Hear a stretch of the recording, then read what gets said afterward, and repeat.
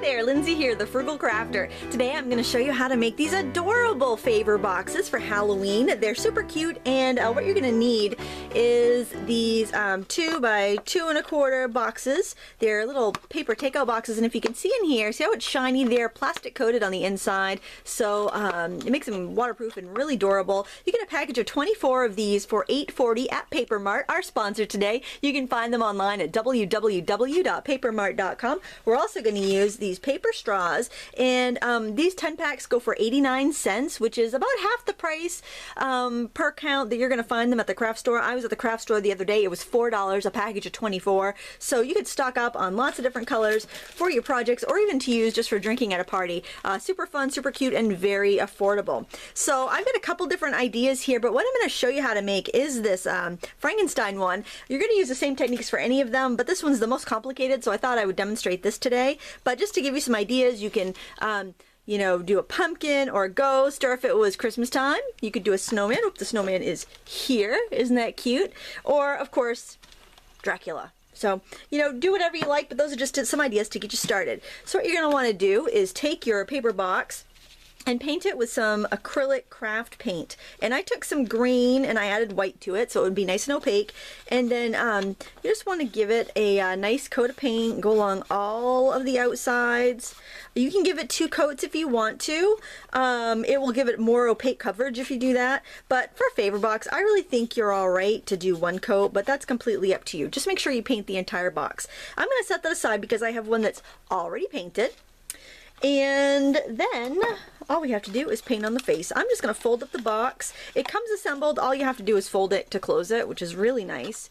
Uh, I know a lot of boxes come flat, but the way they package these are actually in kind of a sleeve like this, so they're all together. You can just pop them out as you need them from the, uh, the container. It doesn't take up very much space, which is very nice.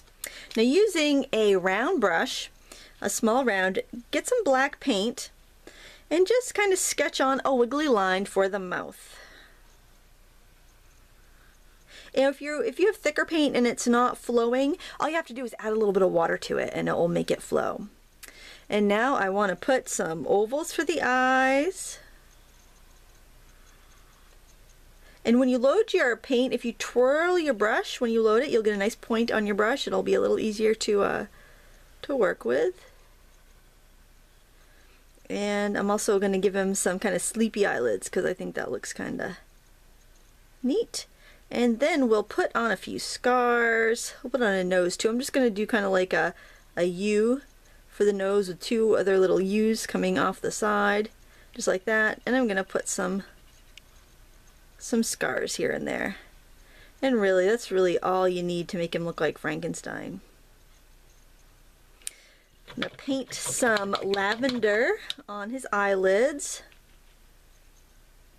And I like to use the same color, so if you were using um, this paint for the body of some um, Dracula boxes, use the same color for the eyelids, and then they'll all look nice when you set them together, like on your mantle for decoration, and then it's really handy um, if you have trick-or-treaters, you can just take them right off the mantle and give them to your trick-or-treaters. I'll do a few of these special boxes for, um, for the kids that we know really well, you know, when they come to trick-or-treat. It's just something, a little something fun you can do. Always clean your brush really well when you're done using your acrylic paints. Wash it with soap and water. I just rinse it between colors and then just wash it with soap and water when I'm done to make sure that I don't damage the bristles. And there you go. That's all there is to making the face on the Frankenstein. Now for the little um, kind of bolts on the sides, which I think is super cute with the straws, you just want to snip off about, um, I would say half inch to a three quarter inch piece of the straw. You'll need two of them. Just try to cut them as flat across as you can.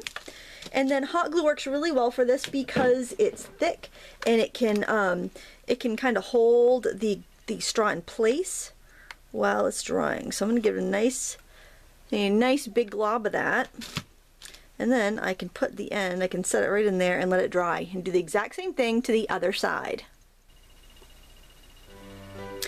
Go. We have both of our little paper straw bolts on and this guy is looking like the cutest Frankenstein I've ever seen. If you like this project and you want to find out all the products that I used, you can check out the video description where I have links to all the products I used or just go to www.papermart.com where we make you look even better. And if you want more fun fall projects, make sure you check out my other fall crafting videos. I think you'll really have fun making some of these projects this year. I want to thank you so much for watching. Please give us a thumbs up and subscribe if you these videos. And as always, happy crafting.